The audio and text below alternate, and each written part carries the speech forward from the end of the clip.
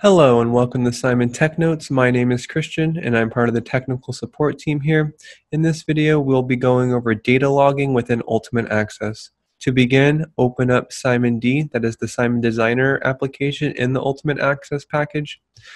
To locate data logging, we're going to go up to the toolbar here, look for the icon that kind of looks like a calculator with a plus sign on it. It's data logging. So if I click on that, you can see I've already made a data logging model. I've named it demo we're going to make some adjustments here.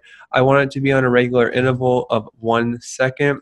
I chose to save on the desktop for convenience sake for us. It'll appear over here on our left hand corner. And then I want it to be daily, a max number of files of 10. If it exceeds 10, it will record, it will overwrite over the most historical file. So you will lose your most historical file if you don't keep up with the management of the file. It's just FYI.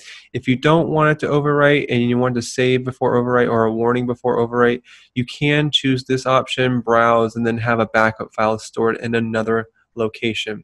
Now that I have my logging model downloaded, I need to choose it with some tags in order to actually use it. So I did want to apply my changes. I'm going to go to the tag database. I have tags 1 through 4 all logging to the database or the logging model of demo. So you have to go to the advanced tab, click on data logging, and then you choose the logging model that you're going to pick.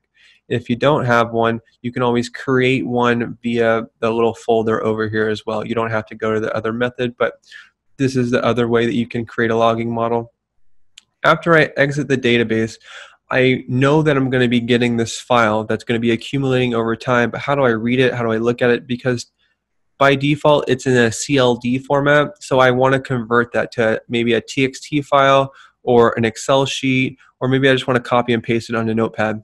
So to do that, you're going to create a little button. I've made a button here and the command is log file dialog and then parentheses parentheses semicolon the way to do this is to make it a touch button and then change the action to command expression and then go ahead and write this command. When I push this button some commands will pop up allowing me to convert my data. I'm gonna go ahead and run simulator so we can see what's going on. So right now at the top left, I've already started to accumulate data. This was not here before. If I press view data, I'll see that I have a logged data file right here. I can clipboard it so I can copy it, go to a notepad and paste it, and it will paste the values for me that are being interpreted right now because there's a script running in the background that is throwing out random values for the tags that I have chosen. And then this is the format it will be in a TXT file.